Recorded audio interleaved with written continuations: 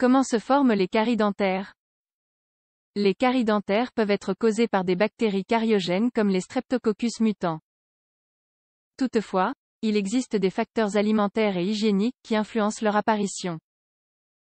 Comment se forment-elles? Tout d'abord, les caries dentaires sont une maladie multifactorielle qui affecte les dents. Elles sont liées à l'alimentation, aux bactéries intrabuccales, à la composition de la salive et d'autres facteurs. Tout d'abord, les caries endommagent l'émail, la couche superficielle de la dent. Et, petit à petit elles avancent jusqu'à atteindre la pulpe. Les responsables de leur apparition sont les bactéries cariogènes, dont la plus importante est le Streptococcus mutant. Ces bactéries déminéralisent l'émail dentaire et entraînent les caries. Comment se forment les caries dentaires? La présence de bactéries n'est pas la seule origine de cette maladie. Il existe également d'autres facteurs de risque. Baisse du pH buccal due à la consommation de boissons ou d'aliments acides comme, par exemple, les boissons gazeuses une alimentation cariogène, élevée en sucre, en aliments collants, etc.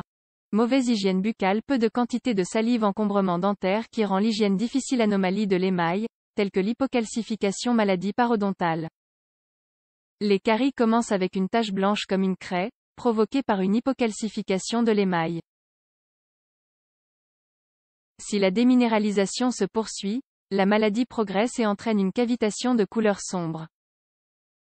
Au cours de son évolution, elle est même capable de fendre la dent en deux.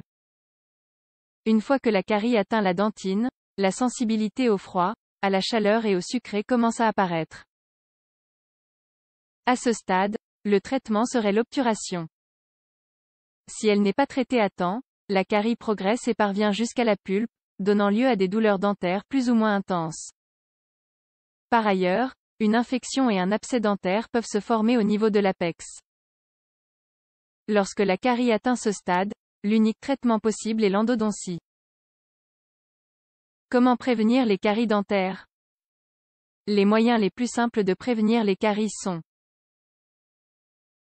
1. Une hygiène buccale adéquate qui élimine la plaque dentaire. Le brossage des dents est la façon la plus efficace d'éviter les caries. En effet, le brossage mécanique élimine la plaque dentaire et les restes de nourriture qui s'accumulent entre les dents et qui servent de niche pour les colonies de bactéries. Le dentiste doit indiquer comment réaliser un brossage correct. Il doit également recommander une brosse à dents et un dentifrice adapté aux besoins de chaque patient. 2. Le recours au bain de bouche et au dentifrice au fluor. L'utilisation de bains de bouche et de dentifrice au fluor est nécessaire pour favoriser la reminéralisation de l'émail. En effet, cela le rend plus résistant à l'action des bactéries cariogènes. Les mesures suivantes supplémentaires au brossage des dents améliorent l'hygiène. Mais, en aucun cas, elle ne remplace cette habitude indispensable.